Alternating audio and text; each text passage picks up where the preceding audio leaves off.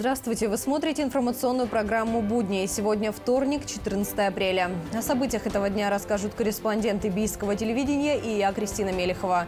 И вот лишь некоторые темы этого выпуска. Без праздничных торжеств. В Бийск пришла телеграмма от Путина.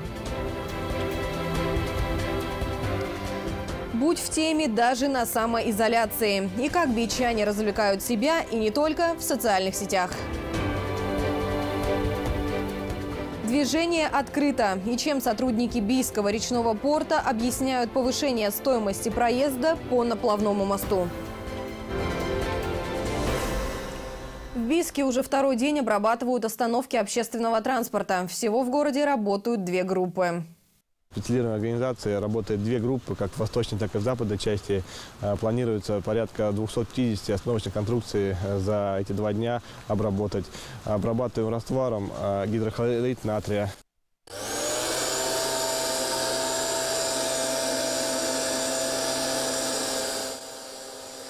Специалисты в защитных костюмах и противогазах обрабатывают все остановочные павильоны. Причем дезинфицируют не только металлоконструкции, но и территорию вокруг них. Жители Бийска к таким работам относятся с пониманием. Пока предусмотрена лишь разовая обработка остановочных пунктов, но в дальнейшем повторно работа продолжится на центральных улицах.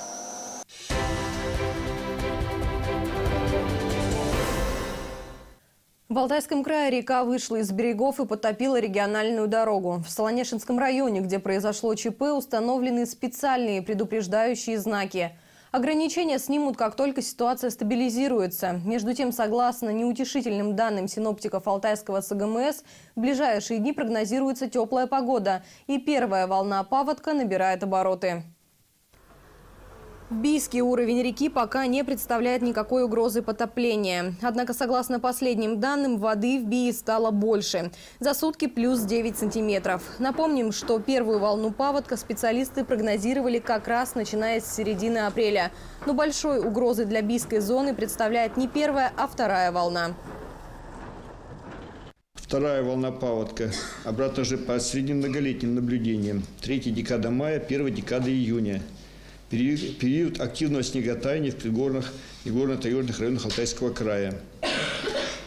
Приводит к волновому характеру повышения уровня воды в реке, что вызывает э, со сходом коренной воды. Возможен рост уровня воды в реке Бия до опасной отметки и превышение ее в границах города с подтоплением низменных участков территории города.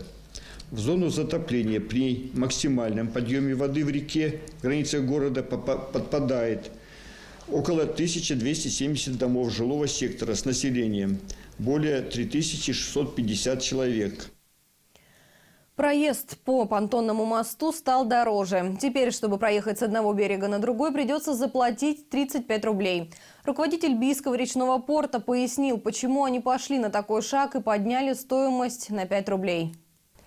13 апреля наплавной мост снова заработал. Его вернули на место после ледохода. И первые автолюбители, которые проехали по переправе, заметили, что цена выросла. Если раньше платили 30 рублей, то сейчас 35. Как рассказал по телефону руководитель речного порта Виктор Франк, мера эта вынужденная. Стоимость проезда не повышалась с февраля 2017 года. Изначально новый тариф планировали ввести в январе, но решили подождать. Сегодня стало понятно, что обслуживание моста обходится дороже. Кроме того, по просьбе горожан здесь установили терминалы, а это тоже дополнительные траты. Четвертый год идет, инфляция, э, зарплату надо повышать, заставляет просто МРОД повышать. Повышается горючее, повышается все кругом.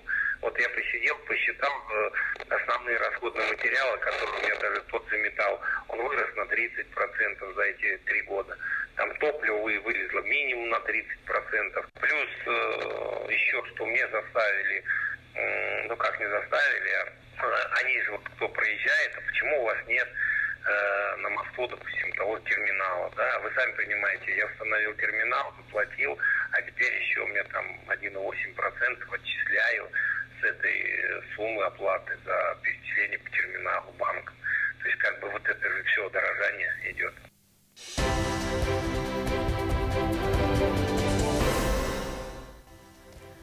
В эфире информационная программа «Будни». Мы продолжаем. И вот о чем мы расскажем далее.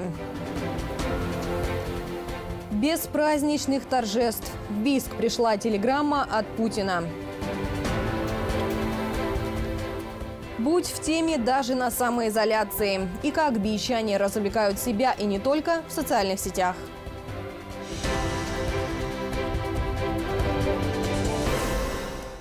На пищевое производство требуется кладовщик на склады готовой продукции и сырья, знание 1С, лепщица пельменей можно без опыта работы, фасовщики полуфабрикатов, рыбообработчик, телефон 8 960 936 23 84.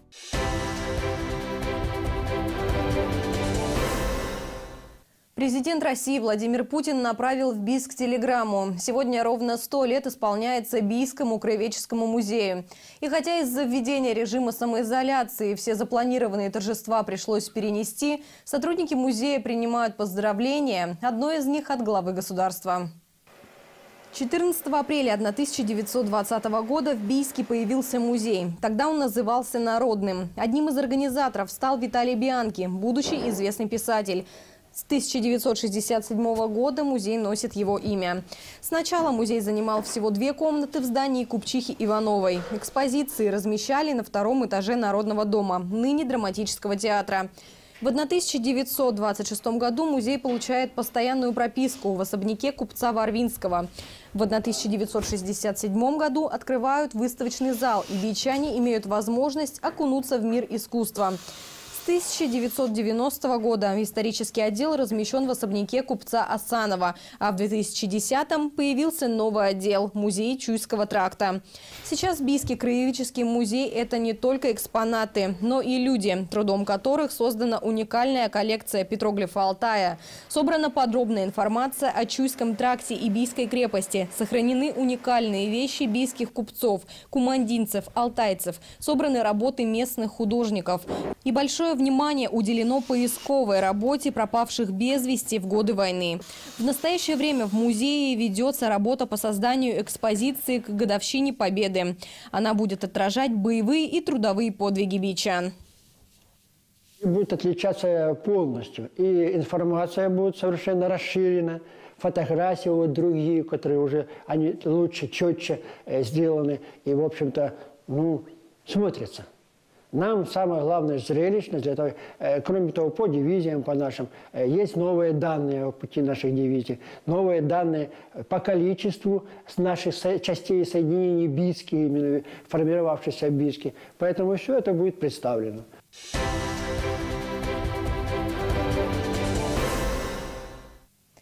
Бийские пенсионеры не могут получить обещанную выплату к 9 мая. Пожилые люди не в состоянии доказать, что в годы войны они действительно трудились в тылу. Почему так трудно получить официальный статус, выясняла Ксения Сапко. К празднику Великой Победы некоторым пенсионерам положена единовременная выплата. Так, по 75 тысяч рублей получат инвалиды и ветераны Великой Отечественной войны, а также узники концлагерей. Труженикам тыла выплатят по 50 тысяч рублей. Их в Бийске около тысячи человек. Однако многие бичане оформить звание не могут. Некоторые лишились архивных записей, другие и вовсе не были официально устроены и работали за трудодни.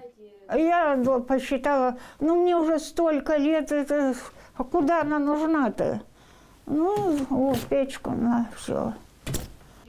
Таких историй в нашем городе много. Екатерина Арсентьевна Болдырева в годы войны работала на сахарном заводе, причем трудоустроена она была официально. Однако архив предприятия утрачен из-за пожара. Потом пожар был, пожар, где складывали это все, и вот это все сгорело.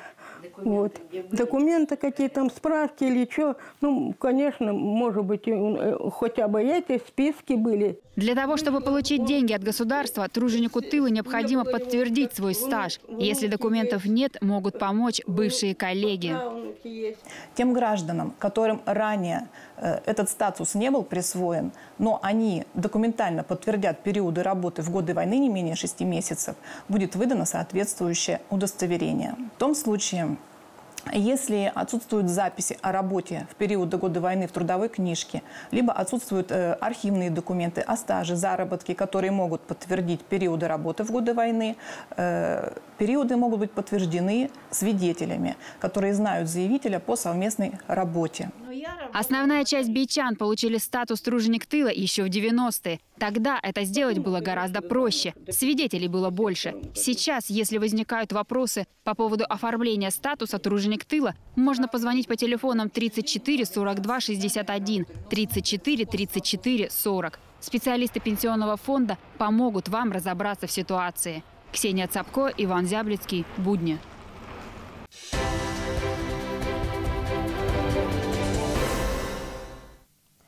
Отправка новобранцев в армию снова откладывается. Бийский военкомат сообщил о переносе весеннего призыва до 6 мая.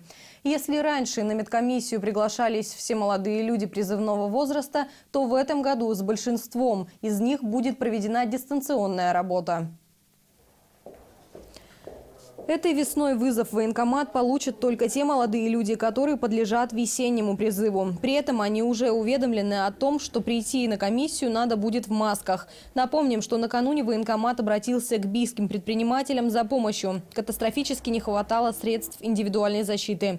Откликнулась компания «Эвалар». Сотрудников обеспечили столь необходимыми сегодня антисептиками, но для полноценной призывной работы этого все же будет недостаточно. Напомним, что в Бийск на комиссию будут призваны ребята из Бийского и Салтонского районов. При этом надо отметить, что и в самом военкомате собственными и доступными силами делается все возможное, чтобы обезопасить риски, возникающие от большого скопления людей отдельный вход сделали для призывников, через, ну, запасный выход у нас здесь в военкомате. Угу. То есть все, все перемещение через него будет. То есть угу. дезинфекция и так далее.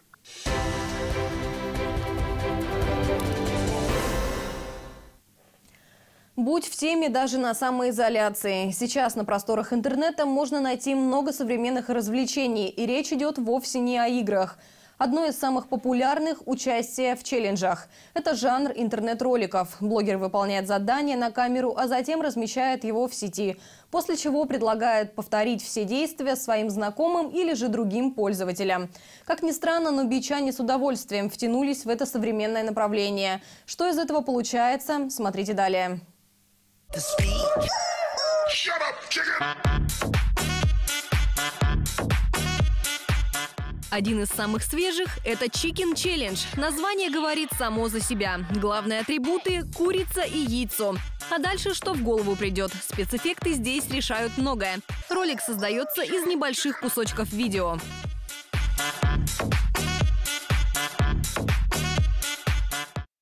Кстати, в Бийске уже есть и завсегдаты. Одна из них – Элина Савельева. На самоизоляции девушка активно занимается своим любимым увлечением.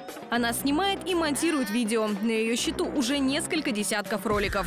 Снимаю различные танцы, челленджи. В общем, заставляю людей не скучать на карантине. Ведь даже дома можно найти массу увлечений, чтобы активно проводить свой досуг. А вот и челлендж для любителей игры Sims. Здесь кто во что гораст. Меняй наряды и придумывая разных персонажей. Плачу на техно.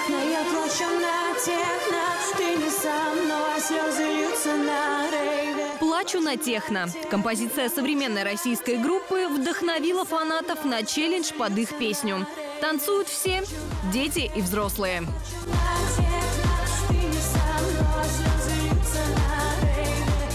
Спортсмены не остались в стороне. Они тоже присоединились к популярному направлению. Приседания, отжимания, подтягивания в условиях самоизоляции сейчас как раз кстати. Ведь лето не за горами, мы надеемся, что пляжный сезон все же будет открыт. И ваше красивое подтянутое тело обязательно кто-нибудь увидит на берегу водоема. Принял эстафету от Паши Путюнева. Э, максимальное количество отжиманий от стены на руках. Поехали. Хотите также? Тогда придумывайте, снимайте, выкладывайте видео в соцсети и собирайте лайки. При этом по возможности оставайтесь дома.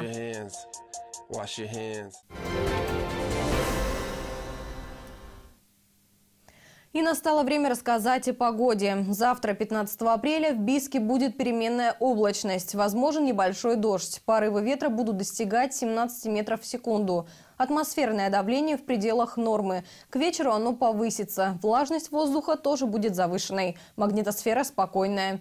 И о температуре ночью плюс 2, плюс 4, днем плюс 13, плюс 15 градусов.